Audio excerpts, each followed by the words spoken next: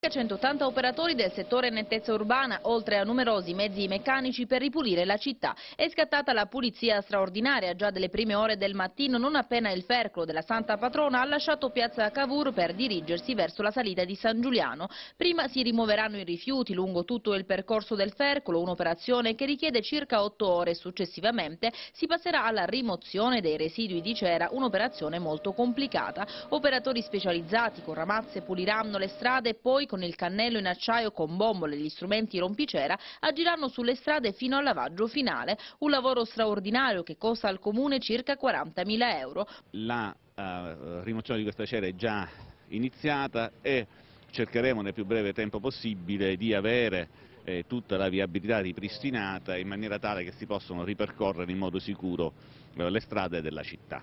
Una raccomandazione anche in queste ore chiaramente agli automobilisti e soprattutto ai motociclisti è di transitare il meno possibile anche negli incroci. Un'operazione che potrebbe protrarsi per qualche giorno dal momento che il divieto imposto dal sindaco è stato ignorato da molti come testimoniano le tante mail di protesta arrivate alla nostra redazione. Anche quest'anno l'ordinanza del sindaco non è stata rispettata?